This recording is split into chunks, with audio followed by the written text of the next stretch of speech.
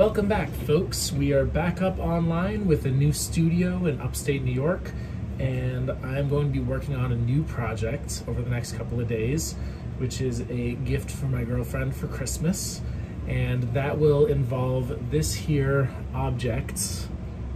Okay, so we're gonna take this and we're gonna actually fill it in with leather, paint the leather gold, and turn it into an object of desire.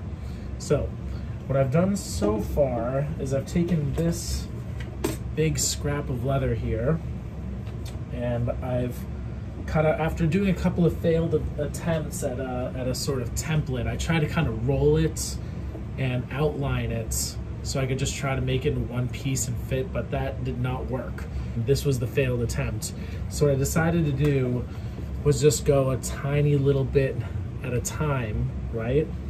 And make little pieces and then put the little pieces together to form the final, um, the final product here. So what you have to do is adapt and overcome. Okay, so I did a little test piece here, basically um, with the gold acrylic. The gold really kind of shimmers and we're gonna go with this look. All right, here we go with the first piece. We're gonna put it right in with this rubber cement and uh, see how that goes. So it looks like we have a mild success here. You can see the gold piece in there. Fit it in. I'm gonna have to fill in just a little bit of extra detail. Right, so I've gone a little bit further. Let's see where this thing's at.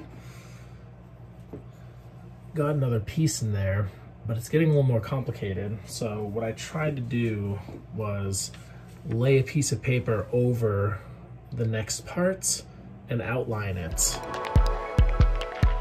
All right, guys, we're getting super close now.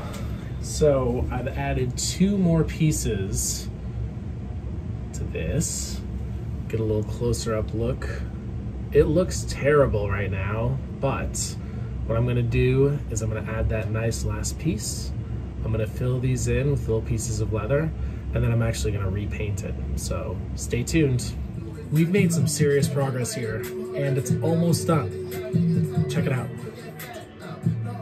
At that. I got that nice curve in there. How does that look?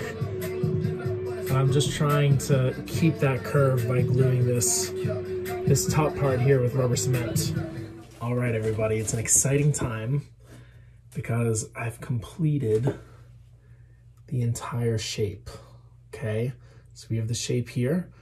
Now I'm just gonna shave off some of this leather to give it a smooth surface, and I'm gonna repaint it. I'm using this box cutter to just shave off little bits of this leather to make it smooth here.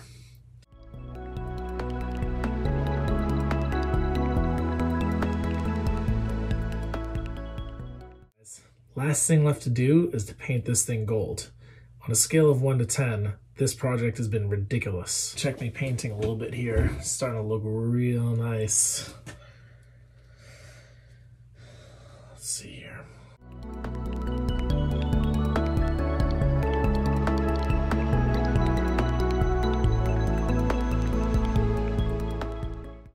All right, guys, this is looking crazy. Oh my God, this is so this is coming out so nice. I'm edging it with black to give it some drama. And we are all done. Oh yeah.